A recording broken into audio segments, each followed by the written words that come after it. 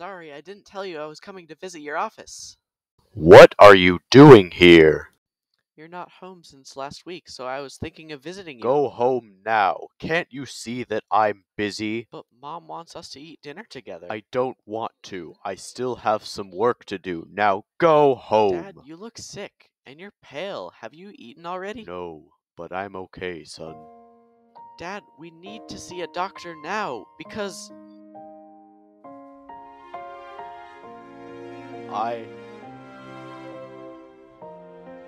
Dad! Son, I'm sorry I slapped you, but I just don't want you to see me like this overworking myself. I want to eat dinner with you, but I just can't stop myself from working. I'm sorry. No, Dad, you're joking. Wake up, wake up!